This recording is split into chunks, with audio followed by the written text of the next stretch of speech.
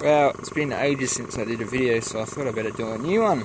Um, anyway, we have moved, so we're now at a place that has spring water and yabby ponds. So the old owner was breeding yabbies in here, and um, I was doing a bit of research and looking up, and uh, apparently I was going to have to empty everything and scrape out the mud in the bottom, and I thought, hmm, what's an easy way to do this? So had a few old solar panels laying around, so I just went on the net and looked up to see if I could find a 12 volt air pump, which I definitely found. So was only what sixty dollars something. Um, so I've literally got it direct connected to that solar panel. It doesn't matter if it's run at a low voltage, like it's not going to actually affect the motor. Um, so yeah, just direct connected to that, and then I've got my four lines. There's one, well, there's a big one here for the drinking water, and I've got one in this pond over here, and then one in that original pond. Um, so yeah, I mean it's only, I mean I was lucky because the solar panels were laying around here, but yeah, only about so probably about $150. This panel's not very big. Only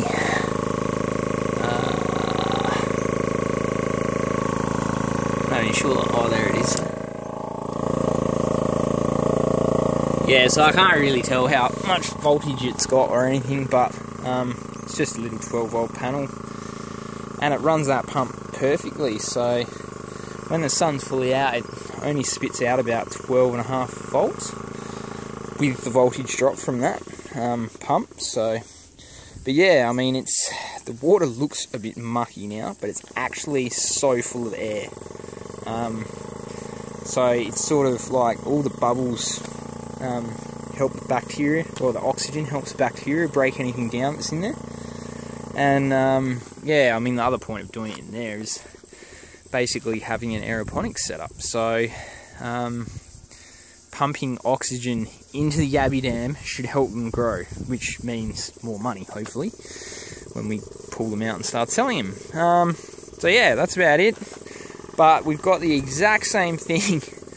Um, I basically stole the old owner's idea. See, so those two panels there run to two solar pumps, and these are literally um, that's a 24 volt system, but these are 24 volt caravan pumps. So if you get a continuous caravan pump, like a continuous pump for a caravan or RV or whatever, um, just make sure you've got a continuous duty cycle though. You don't want an intermittent one, or else um, they'll just come on and go off all the time, and it won't really fill the tank up. But um, yeah, no, they work quite well. So that's another thing you can do with the solar. Um, I've been playing around with all this stuff, so having a bit of fun.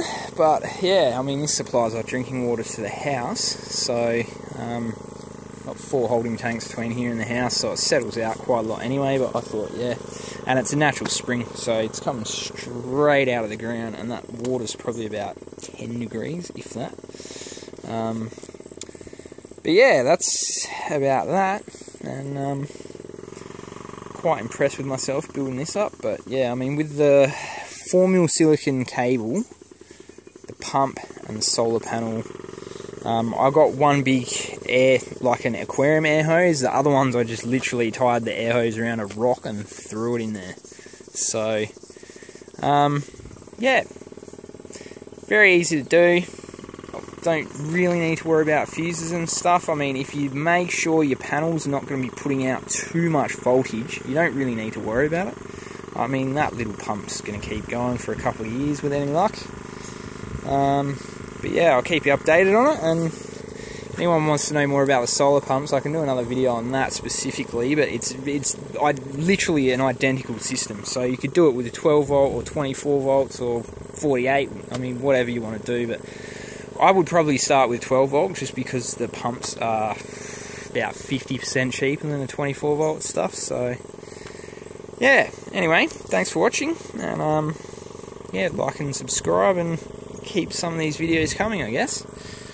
Anyway, have a good one.